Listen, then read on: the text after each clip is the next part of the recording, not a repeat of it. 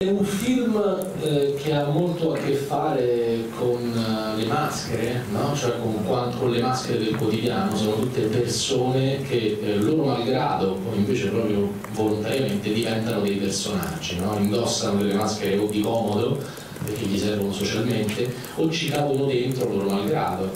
poi magari la combattono o la accettano. Quindi è, è, è un film che prevedeva un percorso interiore quindi a me sembra veramente un, quasi un romanzo ottocentesco russo, cioè questo suo indagare all'interno, all'interiorità,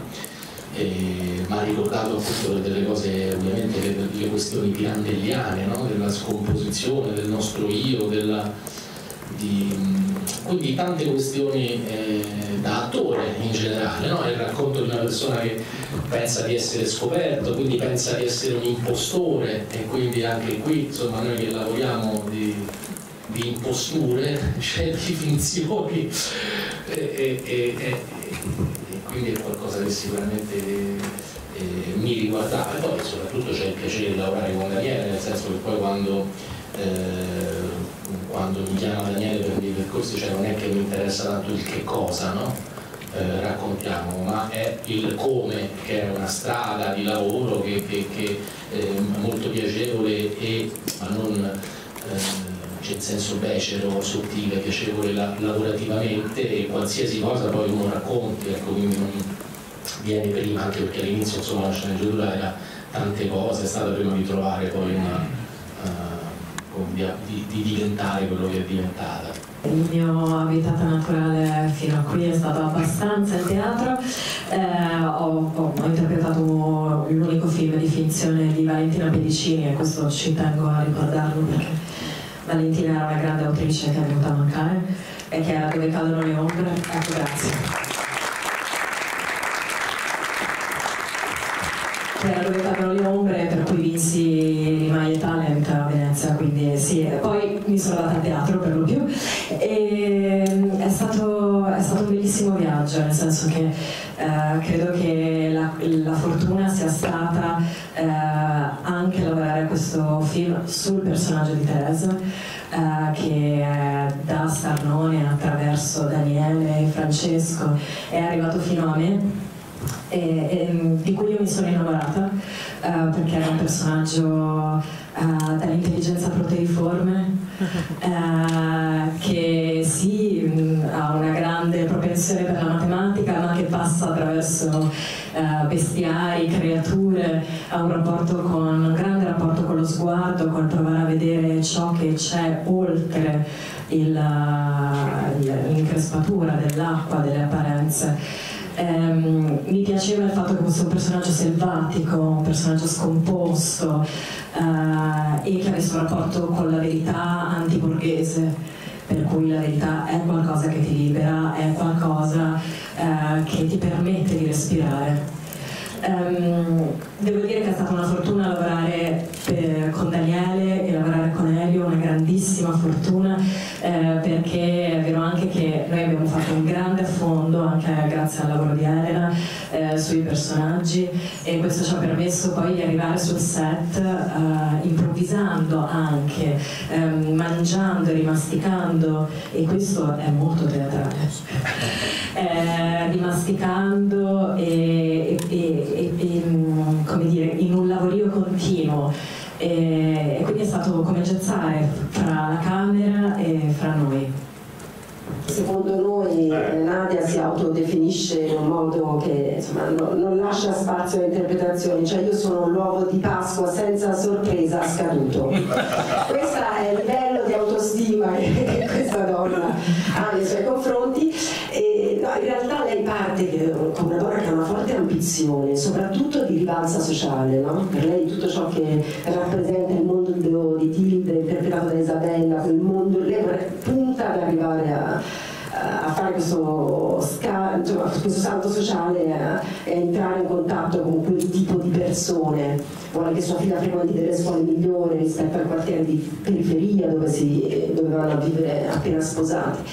Però a un certo punto è come se lei capisse che questa cosa non la può costruire lei, perché non, semplicemente non si, non si, reputa brava, no? non si reputa brava abbastanza per riuscire a trovare la sua realizzazione professionale nella vita.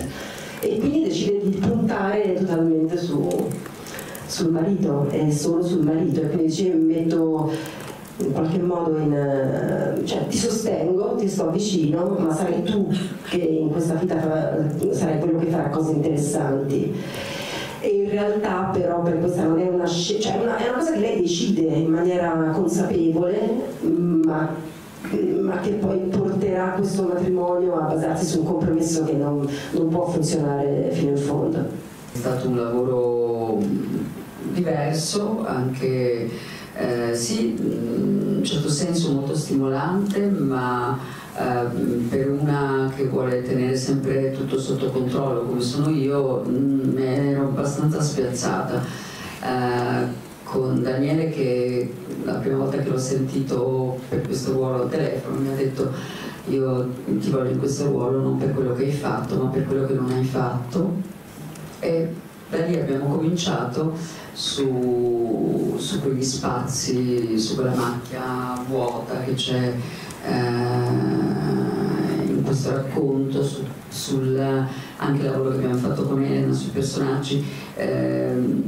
cercando delle strade. Poi di fatto sempre diverse per cui io non ero mai tranquilla non sapevo mai che cosa avevo colto cioè, anche quando pensi di aver trovato tutto ancora c'è da, ancora c'è da fare c'è da trovare. Eh, però sì, sicuramente Tilde eh, in questo racconto è mm, una donna, una donna forse un, un, po' più risolta, um, eh, onesta, schietta, una donna mm, che, eh, che vede in Pietrovella um, un uomo piccolo, forse è l'unica che riesce a smascherarlo, non lo so, credo di sì Mm, forse Pietrovella invece vede Tilde come una donna potente. E, ehm, insomma, eh, diciamo che, eh, diciamo che, eh, che, ne esce bene in una, in una, situazione, ho un ricordo di, di una scena fatta insieme a Elio eh, che mi è piaciuto molto, che mi è piaciuto molto il percorso che abbiamo fatto per arrivarci. Eh, ho lavorato pochi giorni, pochissimi giorni su questo set e mi è rimasta tantissimo la voglia di lavorare con Daniele per, proprio per quel lavoro di improvvisazione, per quel eh, modo di continuare a farti cercare eh, strade, strade diverse ma forse Tilde anche lei una maschera c'ha, cioè nel senso penso che nasconda bene la sua solitudine, la solitudine di quelle donne che comunque hanno un lavoro, che vanno a cena con i colleghi, che si ritrovano in questi alberghi quattro stelle inutili e che però sono sole e, e vabbè, così. Storie che mi riguardano e che ogni volta che leggo dico ma come fa a saperla questa cosa? E ovviamente lui indaga talmente bene sul materiale umano che eh, poi alla fine anche quando costruisce dei personaggi di fantasia hanno sempre qualcosa a che fare con noi, eh, non, non, mi ci metto dentro solo, solo io, ma e quando facevamo insieme la scuola, che poi non era solamente un film ma anche uno spettacolo teatrale, ci ritrovavo dentro tutte le scuole che avevo frequentato, tutti i professori che avevo conosciuto e quando ho letto Lacci in qualche maniera raccontava una specie di ipotesi terrificante su quello che sarebbe potuto essere la mia vita. Se e qui dentro Confidenza c'è un modello maschile in cui ci si può ritrovare fortemente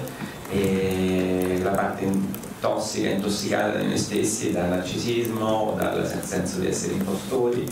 e, e, e poi c'è da dire anche un'altra cosa che spesso i, i, i, film, i libri di Domenico hanno sempre degli ottimi ehm, spunti, ingranaggi che stanno, stanno bene attaccati ai film.